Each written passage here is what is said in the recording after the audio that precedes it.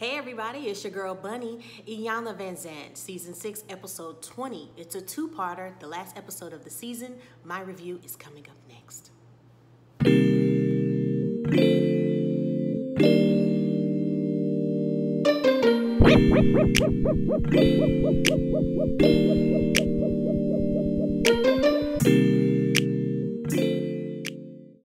So let's get right to it.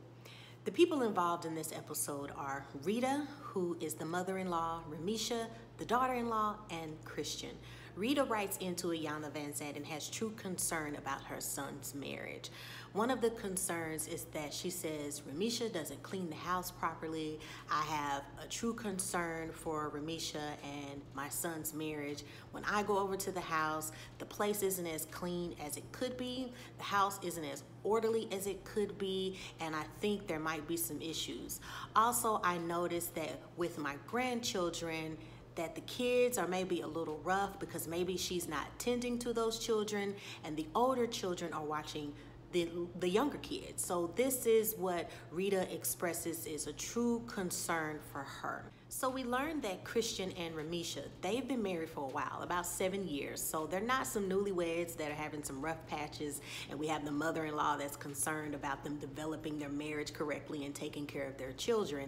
They're already kind of established. So in typical Iyanla fashion, she listens to Rita express her concern. But at the same time, before she jumps into anything, she wants to know about Rita. What makes Rita Rita? So she has these stones that have different words and phrases that are some topics to discuss that are very important. She has culture written on one of the stones, indicating that there is a culture difference or maybe some understandings that they need to go over. She's from Germany, and of course, Ramisha is from the States. So maybe there are phrases or things that are being said that are taken as insult but don't mean insult over here. So we have to understand that there are the words single parent written on one of the stones.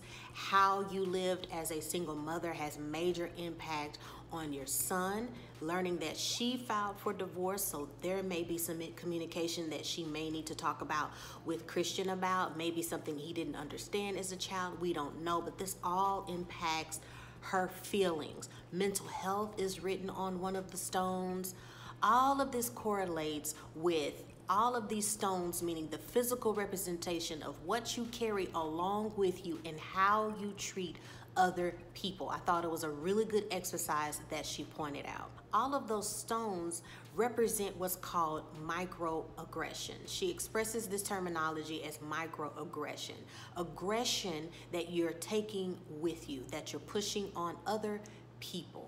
She instructs her to take all of these stones into another room and she says, well, I don't have a box to carry this in. Can you help me? She says, no, you pick up those stones and you take that with you. This is a representation of what you have on your back that you don't realize that you have. So they go into another room and there's a display of glass houses. It looks like a nice little neighborhood that they've set up as a representation of somebody that lives in a glass house.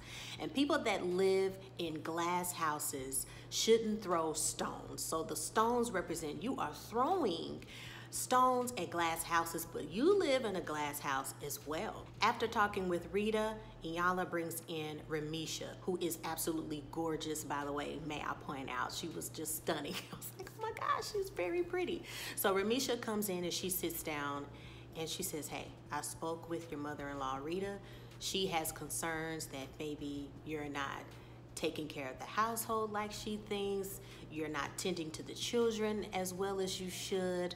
And Ramisha has her moment to say, I do the best I can as a mother, and I really think she expects me to be this picture perfect wife, as a Stepford wife, saying yes, and everything's always in order and being so perfect. And she says, Hey, that's not me.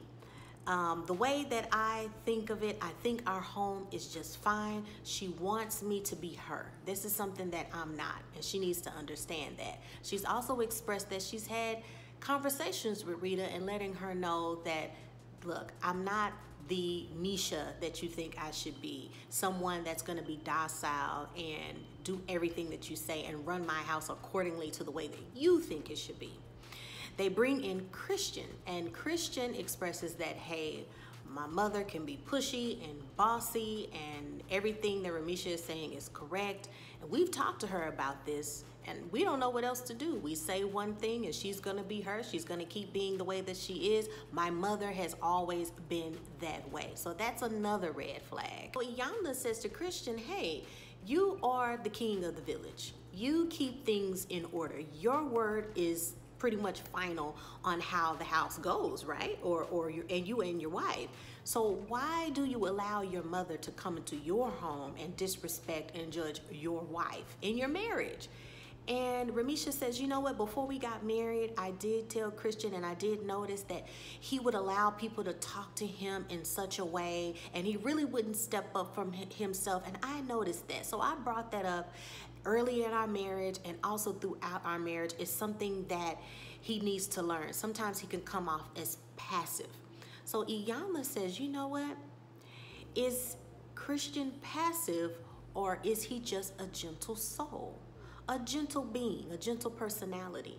So Christian says, you know what? I think I'm I'm I'm gentle, but at times because of something that happened to me when I was a child, I I I can be passive because I don't want conflict and I don't want anything that causes some sort of aggression. So he begins to tear up and I'm thinking, "Oh my goodness." we don't think about personalities and how experiences in life can affect somebody's natural personality. So we shouldn't be quick to judge somebody like that, right? So the, he goes into this story about how in Germany, while in Germany as a kid, he was walking to the park. And on the way walking to the park, he saw a man that says, Hey, you know, did you, do you want to see a turtle? And he's like, Yeah, I want to see a turtle. And then he goes into the woods with the gentleman. And we learned that unfortunately um, he was raped. So Iyanla tells him, Did you ever tell your mother?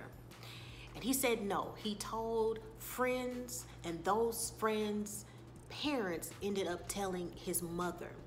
The mother found out, and of course, she was distraught and sad and he said that she was angry and, and sad about it, but nothing else further happened.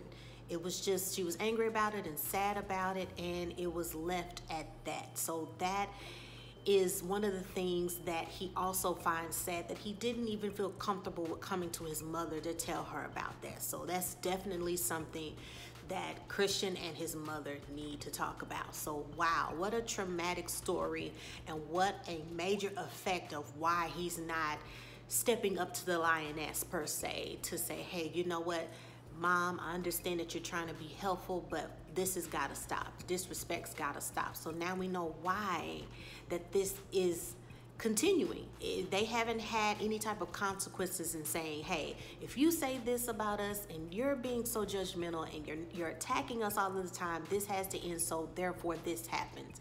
And the incorrect thing is that they're quiet about it, they ignore her for a while, they don't her, allow her to see the grandkids for a while. So it's this consequence that's, consequence that's really not helping the situation. Here is the big boom moment of the episode.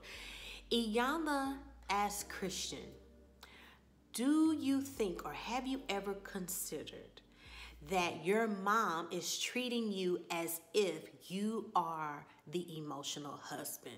And Ramisha's expression is like, Whoa, like, whew, I think you might be right. And Christian, you know, he says, you know what, that is possible. That makes sense. That's logical to think that way. She might be right. So Iyanla says, okay, we're gonna think about that. Let's take a break.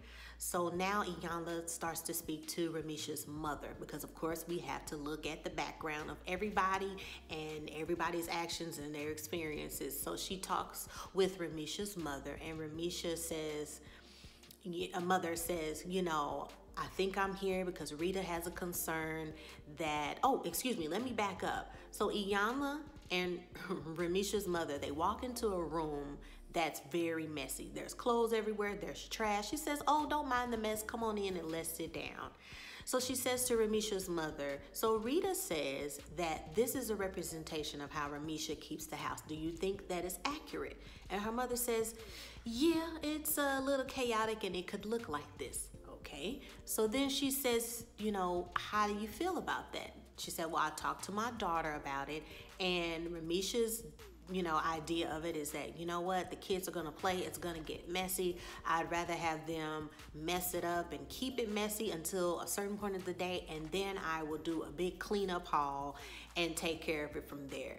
And what I noticed is that Ramisha's mother leaves it as just that. She doesn't go in, into any judgment. She just says that's the way she keeps her household. I mentioned it to her, and the end. Different from what Rita expresses to Ramisha, which is a very judgmental, very harsh, uh, uh, as Iyanla expresses, violent way of expressing herself towards the way she handles her home. So Iyanla asks her, she says, what do you think might impact Ramisha in her marriage or maybe her communication with Rita because she says that your daughter has her household in such a way that the way she was raised may be affecting the way she keeps her house. Whoa. so Ramisha's mother says, you know what? I had some rough patches, patches in my life. I, I was a substance abuser. She did live with her grandmother for a while that may impact certain things in her life, but I wasn't aware that they may be impacting her life in such a way that maybe she's not functioning. So I don't know. So she's really honest and she's putting all of her cards on, on the table. She seems very calm and she seems very open to listening to everything that's going on. Another big boom in the episode is when Iyanla says, you know what? I think I have an understanding of what's going on. So I, she says, I mentioned to Christian earlier that maybe his mother is viewing him as an emotional husband. She says, wow, that makes sense. That might be possible. That kind of explains what's going on. So she says, I don't think Rita's issue is specifically with Ramisha. I think it's because she's, since she's viewing Christian as an emotional husband, that the side chick, quote unquote, is Ramisha. She is interfering with this emotional representation of this emotional marriage. She wants to correct what didn't happen in her marriage with Christian, and she's seeing this as an emotional marriage. Wow, wow, wow. Makes a lot of sense. So the mother says, Hey, it makes sense. I'm open to it and we go on from there. Iyanla tells Rita, because she notices in the letter that was written to the Iyanla Van, Zant show that the letter had so much aggression and violent. You could, in other words, you could hear the tone of the letter. You know, if you read an email or a letter, you can feel some energy from it if it's positive or negative. And if it's not positive or negative, you can kind of clarify, hey, did you mean this? If somebody writes in all caps, you could see that as yelling, but maybe somebody said, hey, I didn't, I, I didn't think that was disrespectful. So she's trying to get to the undertones of the letter that she wrote in to the show. And she says, you know what? I need a better understanding of where all this passive aggressive, violent language is coming from and this energy. Can you write down as an exercise certain situations that have happened? And I want you, here's a chart with a lot of words that express your feelings. And I want you to pick from this chart and I want you to say, this happened and this is the emotion that correlates with the experience. She says, okay. She takes that exercise and Rita goes on. She then goes to Ramisha and Christian and she says, hey, I really want you guys to read this letter that she sent into the show because I really don't think you know how she's feeling or things that she's felt because Rita says she's never taken these issues to you which I thought was so interesting. Here you are in a soup of emotion and feeling, and you're not even bringing in those issues to Christian and Ramisha. You're just making all of these judgmental thoughts, and you're building a wall in between you and your daughter in law and your son, and communicating. You don't communicate well. So, Iyanla says, read this. They read it. Ramisha says, I think it's hysterical. I really don't see where all of this is coming from. And half of this, she's never even came to me about it, which is just a major hit in the face. And they just look so distraught as they're reading it like, wow, this is just, this is just too much. So then I think later on in the day or the following day, well, actually, I think it's later on in the day, Iyanla meets with Remisha's mother and Rita in a room. So they're sitting there. She's speaking with Rita and she says, hey, I, I, I, want you to go over your assignment that I gave you yesterday, and I want you to express those feelings and those situations. And she says, well, you know, the stones you gave me, I did this, and and and I, I wrote down this exercise, but I put that. And Iyanla says, whoa, whoa, whoa, time out. You're not following the assignment correctly. You are completely changing what I'm trying to do, and you are doing your own thing. You are just just saying, well, I, this exercise was this, but I think it's this, and I'm just adding all this emotion. And she said, okay, Let's try this again. Give me an example that correlates with the feeling that you had. And she said that uh, it was one time where she met her, I think it was the first time she met her, and she was speaking in an English accent. Ramisha earlier in the episode says that that particular time that she's expressing, she said it as kind of like being like just joking, you know, we'll talk to you later, you know, kind of thing and being silly. But Rita said she thought that was judgmental and disrespectful. So she says, okay. And she says, I think that was very superficial.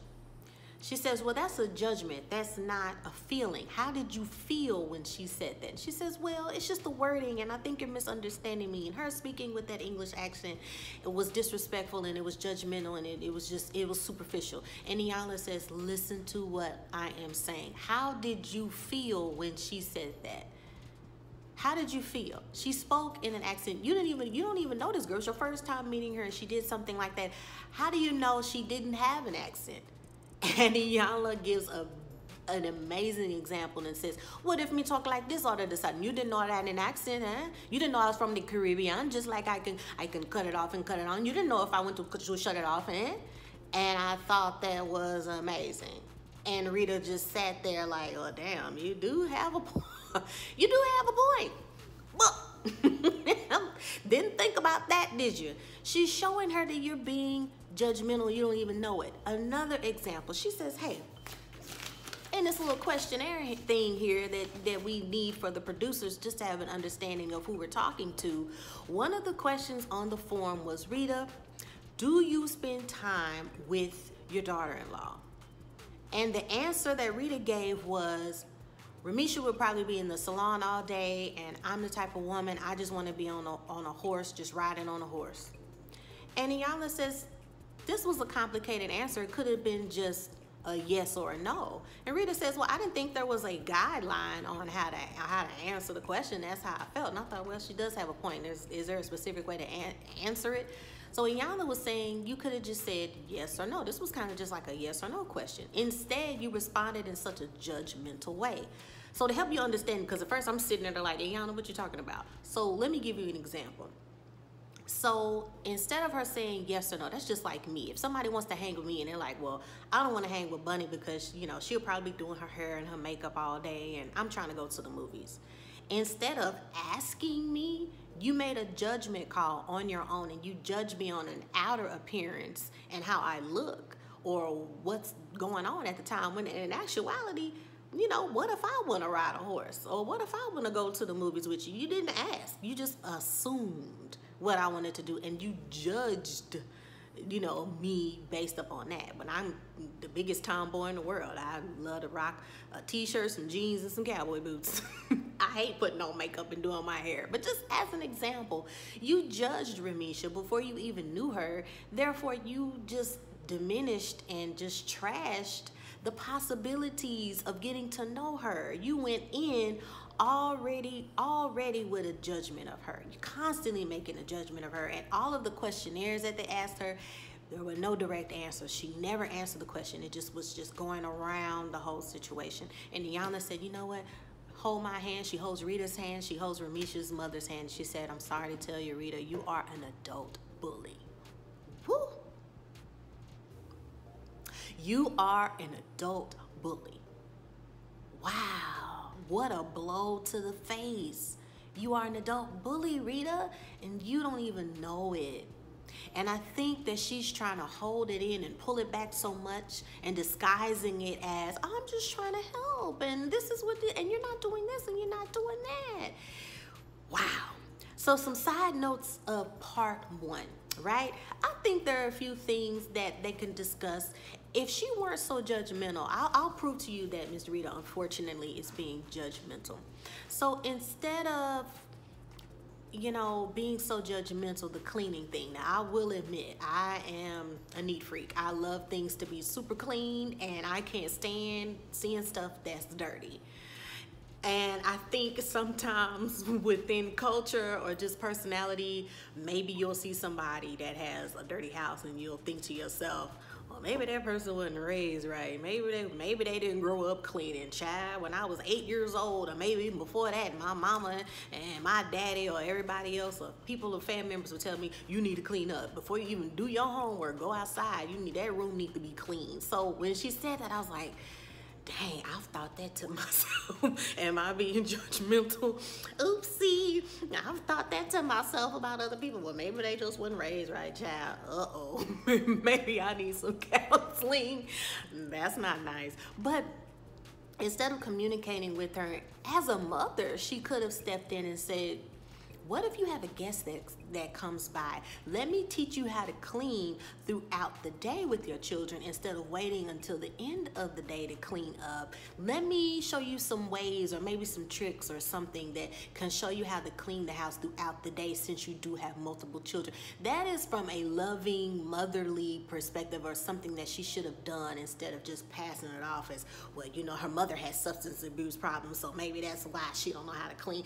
Ugh, that's just too much, so I get it. I can't wait for part two, and I really want to see how uh, this unravels. In the preview to the next episode, you notice that Rita turns to Remisha's mother and says, Well, I don't think your daughter is good enough for, for my son. Ooh, the honesty is coming out. It's starting to come out. Let it out, girl. Let it out. Let it out how you're feeling because clearly you've been feeling a certain type of way for seven years, for a long period of time, and you've been holding that in. Let them stones out. Let me know how you feeling. And I'm just, I want to see how this will unravel. And it's a lot that she's holding in. It's a lot of stones she needs to talk about clearly there is something that she needs to talk about, that she needs to let out, and all of those things she's been dealing with as a single mother, as a divorced mother, as uh, uh, someone who she thinks her son is married to doesn't think, woo, that's a lot. so subscribe, y'all. Hit that notification bell so you don't miss any post. Comment. Let me know what you think. Have a wonderful, wonderful life. Make things great in your life. I love you. I can't wait to see you again.